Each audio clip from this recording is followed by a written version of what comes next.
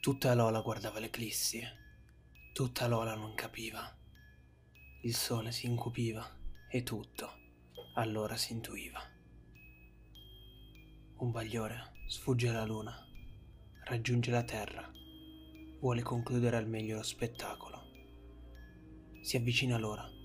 Tutti ad Alola sapevano che sarebbe arrivata lei, l'eclissi, l'eclissi perenne. Tutti sapevano che il sole prima o poi avrebbe volto il suo sguardo altrove. Tre corpi allineati, uno interferisce, oscura gli altri. La terra non vede il sole, il sole non vede la terra, ma essi tuttavia esistono, non coesistono. Ma ad Alola nessuno capì le mie parole.